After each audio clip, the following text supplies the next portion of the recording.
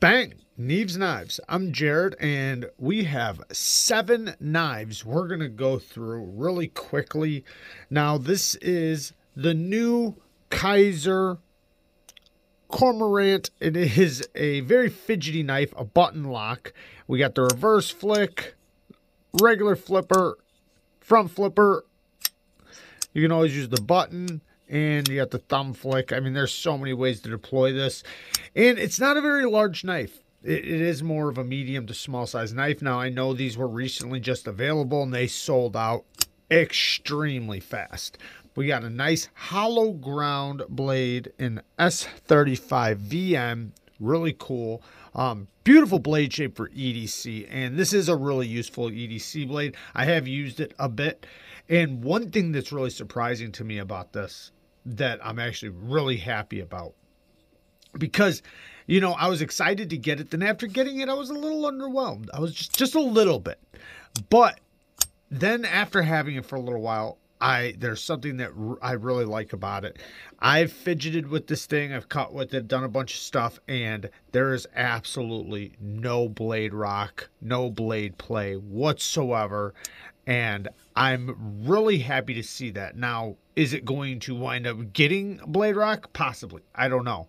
But as of right now, it does not. When a lot of other button lock knives got, you know, Blade Rock faster than, you know, than this. Meaning, like, I've gotten new ones since this one, and they've already gotten it. It's just kind of something with button locks. Anyways, the action's really good. It is extremely, extremely smooth. Now, left-handed, it is going to work good, but you do have to worry about the button because you can kind of put your finger right there in that area, but it still does work. I kind of just point my finger up and put it like that instead of laying it like that. And then it works just fine. Um, the clip is reversible. It is G10. Now, the hollow ground blade is nice and thin behind the edge, and it does cut very, very well. I actually need to put an edge on it. Um, starting to get a little dull. Jimping rides all the way up the spine. I do really like that. This jimping right here, I don't really use it, but you know, you can, I guess. Um, you know, it, it's not really, even though it does ride the whole spine of the blade, I don't really use it too much, at least on this knife. But the couple things I dislike about it though is I don't like this white and black G10. I don't like the lines. I don't really mind the white and black so much, but these lines, they just, I don't think it looks good. They do have a White Mountain Knives exclusive coming eh, with micarta. Now that looks awesome, very very awesome. So, you know, um, I'm sure those will sell out extremely extremely fast. But Really cool knife overall, and if you're wanting a button lock, this is a great option. The flipping action works very well. The jimping is really nice, very grippy. Great, great flipping action. The reverse flick is also really good. And, you know, all the actions are really good. The front flipper, though, eh, it's good, but it's not great. It works just fine. There's no problem with it. It's just not the best. Uh, but all the other actions, I mean, you can still use it though. But I like, you know, how compact it gets, and then you just have this reverse flicking hole that is, you know, exposed. But all in all, solid knife, and I'm surprised how solid it has held up. Next, we got the Viper Knives Belone think it's called the Baloney. Anyways, this is an M390 steel. It is a Vox design and it is a titanium liner with a little spring titanium clip. I'm guessing it's reversible. I never tried it, but the ergos are pretty nice. I do feel this clip quite a bit, but you know, it's still useful. Um, you know, the grip you can get is still going to be very useful without bothering you too much. You can get up nice and tight to that blade for push cuts. And it, it is pretty unique, and I do like that. Very slim. So, you know, um, even though it does get, or since it gets wider back here, it is still a good grip while being very slim blade shape is very useful. Now the action is insane on this thing.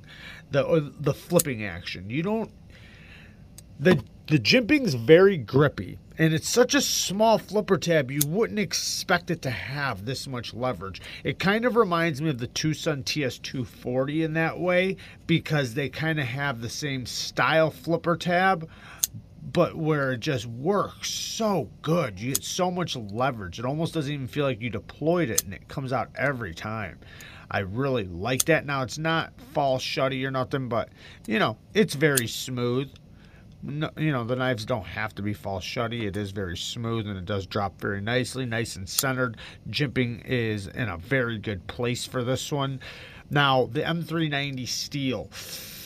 So, Italy, because this is an Italian knife, Italy usually runs it pretty soft. So, that is a thing. There, I, I haven't felt too many M390 knives from um, Italy that wasn't soft, but you know, it is what it is. You know, it's still uh, gonna perform halfway decent. Now, another thing is this choil or the the plunge grind. You can see from the I think this is the factory edge. Yeah, it is the factory edge, and you can see they hit the plunge grind. So if they hit the plunge grind, you can imagine what you're gonna do. Luckily, you could always put in your own choil and everything. Um, next thing, I can touch the tip very, very easily. So, but other than those couple little things, it is an awesome, awesome knife. Um, the liner lock is easy to access. I do like that quite a bit. Nice and slim. Very cool EDC. Very cool sound. Great flipping action. Let's get to the next one. Now, the next one is a Twosun I recently got. And I did just recently do a first impressions on this, but I've been carrying it quite a bit. I like this one a lot. This Twosun is, I think it's the Twosun TS 300 14C28N. We have a dual grind. We have a hollow grind and a flat grind up here. Nice and slicey on both of them. The ergos are really nice. It does have a a you know a, a, nice feeling to it, a good higher end feeling. Access to lock bars perfect. It is stupid smooth. Definitely close to false shut action. I mean, it is basically a fall, fall shut action. The detent, very, very well tuned for the reverse flick. Even in the left hand, I can easily get it, whether I hover the clip or if I go over this way like this. Now, a lot of them, you don't, you can't get like that because you wind up locking yourself out of the detent. But what I do is I just put my finger over the pivot and then I'm barely touching the detent and it works just fine. So this is definitely one for the lefties that would work just fine. Now, Beautiful sharpening choil. Like I said, nice and thin. I can see the grind is a little uneven, but, and I haven't sharpened it yet, but cutting performance is really good. The secondary tip is nice and sharp and acute. The tip, uh, I haven't used it too much to be honest, but I'm sure, you know, it works just fine. Um, it is very acute. You're gonna. Oh wait, I actually stabbed it into something and bent the tip. I forgot I did bend the tip a little bit. It's not too bad. I tried to straighten it out, but so let you know this is a fragile tip.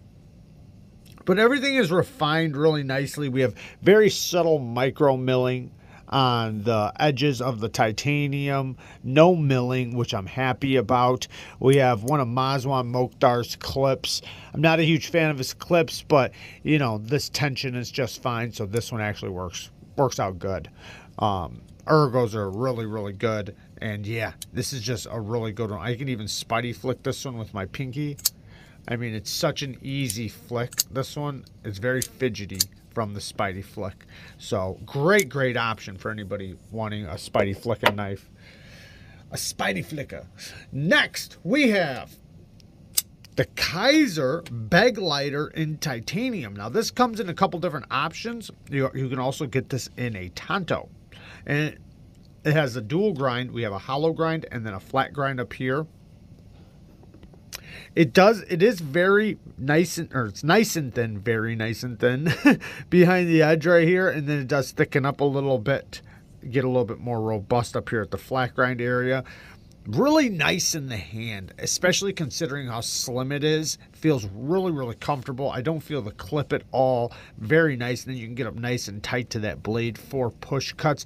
Even though this isn't really a harder use knife where you really bear down and get push cuts, but it's still very comfortable and you can definitely get it. Now, the action is really good. The detent has a very clean break. Very hard to fail.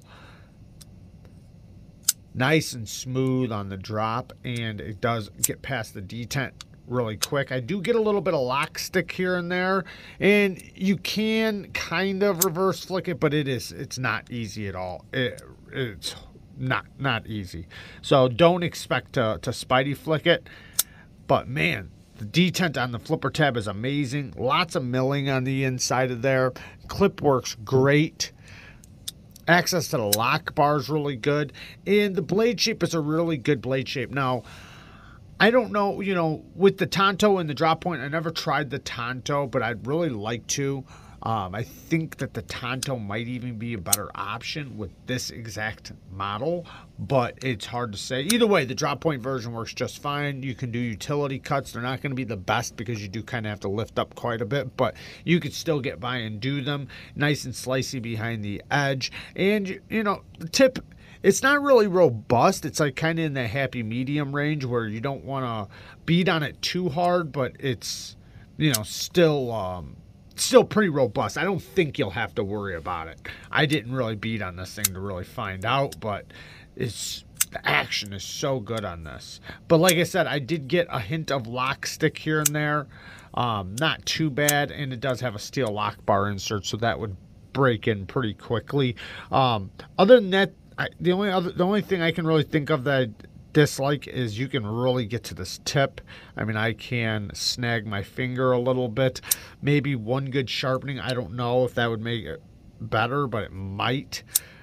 Other than that, the plunge grind is nice and close to the the edge. I don't like to see that. I'd rather that be moved. And yeah, not too many bad things on this one. This one's pretty good. Next, now this one comes in two different blade shapes. We're going to check this one out, but it also does come in a drop point blade shape as well. They're very similar. The only difference is, is the blade shape. I do have a Ruike video coming soon with uh, a bunch of them. M662, the M is for the titanium version because this also comes in a budget option. So just know that there is a budget option available and I'll be linking as much as possible down in the description. Now, the action is really good. However, there's two things here that's going on. One, we have very tiny thumb studs that are rather sharp. They're only sharp because they're tiny. Now, that's not that big of a deal as long as you don't put your finger on the lock bar. You do have death lock on this, and it's not even really. I mean, you can get past the detent when you lock yourself out, but it makes the thumb studs very sharp. However, if you keep your finger off of that lock bar, it is very well tuned, very smooth, very easy. It almost feels weak. it's so easy. And you can see I put the ring around this thumb stud because you know it was bothering me at first but then once i realized man just keep your fingers off the lock bar it doesn't bother you at all. And the access to the lock bar is really nice feels nice and comfortable very smooth on the drop the blade shape on this is a extremely useful blade shape for EDC and the compact design is going to work out great for a lot of people. You can do a lot of detail work with this blade shape. Nice little dent here to kind of be a locator, I guess. You know, I don't know what else you'd really use it for. G10 on this side, no liner or anything and there is milling on the inside of the titanium. Nice thick slab of titanium, and it has a nice bead blasted finish over it. Now, when I unlock it, you see the stop pin down there. It does go into G10. I don't think that's a big deal considering this is more of a lighter duty knife, so it's not like you're going to be, you know, batoning or anything with this, so not an issue at all. 154 CM, good uh, steel. You know, it's more of a mid grade budget to mid grade steel. Most people in this day and age, we'd call it a. Ooh, I guess you can't. I never tried that. I just. I guess you can front flip it. This is the first time I ever tried that. I just looked at the jimping and realized it. Um, not the best front flipper, but you actually can do it pretty I mean, I'm doing it pretty easily. Let's see if we can do this one. Yeah. Wow. Never would have thought that. This one's not as easy, but I can still do it. This one, for some reason, is a little easier. But anyways, um, all in all, I guess the only negative thing or the negative things is the detent is strong if you touch the lock bar. If you don't touch the lock bar, it's fine. Thumb studs are small. Um, stop pin, like I said, it goes into G10, but I don't think that's much of an issue at all. The only other thing, the choil, it, the plunge grind hits the choil right on there. So when you sharpen it, you are going to be scratching up your plunge grind. The clip, the clip works fine. It works just fine, but there's those those screws like that. I do not like those screws. I'd rather see flat screws and an inset clip. Um, or it is an inset clip, but I wish it had flat screws as well. Now, it's not a reversible clip, but Cool knife though, very cool knife, and it's very small and compact. And a lot of people could definitely use this as you know just a backup or even their main EDC. It's just it's um you know it's such a small, very lightweight. It's super light. So let's get to the next one. The Kansept spirit. Now the Kansept spirit, I have one big issue with it. Um, good knife. Okay, I know it's kind of weird looking and it is a little ugly, but we have S35 VN blade steel. Amazing action, really good Spidey flicking action, good detent on the flipper tab, nice smooth drop. Its ergos melt in your hand. This thing is super duper comfortable. You can choke up a little bit, but the utility cuts work out great. Slicing's great. Push cuts are great. It is a little robust though. Um, it is more of a thicker grind, but it still does work out pretty good. And it came with a pretty good edge. But the problem I have with it is this clip. I don't carry it. I won't carry it. I refuse to carry it. Now, this is a great option for lefties, though, and I'm going to tell you why. One, the Spidey flick is very, very easy on this one, lefty. I'm not a lefty, and I can easily do it. Now, the detent is not like it's really light or anything. Um, you know, it just works out. You get a lot of leverage on the Spidey flick, I guess. You know, it's not like a really strong detent. I can fail it, but it's also, you know, I have to try. But this clip lands right on this thing. I can't get it in my pocket. I can't get it in or out of my pocket. It sucks. Trying to get this in my pocket is a nightmare. But reversible clip. So, lefties if you put this on this side, it's a perfect knife for lefties. This would be a great option for lefties. Um, I do not recommend it for right-handed people though, because just, the clip sucks. Unless if you don't mind carrying the clip on the other side. Um, awesome knife though uh, crappy clip. I know it is a little ugly and it does have a robust grind, but for what you're going to be using it for mostly, it works really, really good. And the ergos do melt in your hand. And it does feel, you know, refined really nicely. I mean, it, it has, um, you know, it's really soft, I guess you could say, around the edges. You can tell they did put some effort into it. We have lots of milling on the inside. It's not too heavy. But yeah, let's get to the next one. Now, last one. The next knife is one of the best tuned detents you can find on a knife. This is the Drop Orca, and I felt a few of these, or a couple of them, and all of them had the exact same detent. This is a detent you cannot fail unless if you are trying to cheat. But if you just grab that flipper tab and pull down, even if I try to fail it, it still comes out with authority. The detent is just, it's strong, but you have such a clean break with the with the flipper tab and with the thumb studs. Thumb studs equally as good. Like such good thumb stud action. The liner lock is eh, I I wish well it's it's a titanium liner lock, so all titanium liner, no lock bar insert, and the lock face geometry is amazing. Super strong lockup. It must be carburized. We have like a brushed anodized, you know, titanium liner, titanium backspacer, hardware, and milled pocket clip. Thumb studs are titanium. RWL 34 stonewashed blade. Access to the liner could be a little better, but I'm not going to sit here and complain about it. It's not that bad. It's not something I would, you know, scream about too much. It's just, I wish it was a little bit better, but it's not horrible. But this action, man, even the detent, when you unlock it, it's nice and early. So you're always past the detent. You never fumble around with the detent. Such a clean, man, it's hard to talk about anything else but the action on this thing. It's so good. The ergos are really nice in the hand. Now you do have this spot where you can choke up a little bit and since it's flat right here, it gives you a great place to, to lay your whole palm on the spine for push cuts. And then we have like a spear point harpoon blade shape that's going to be very, very useful RWL 34 is similar to like 154 CM. And I know people are going to say they wish the steel was better on this for the price. I don't think it's that big of a deal. These are mostly going to be used for EDC. They could totally be hard used, but you know, for just basic EDC stuff, I mean, RWL 34 takes a ridiculously sharp edge.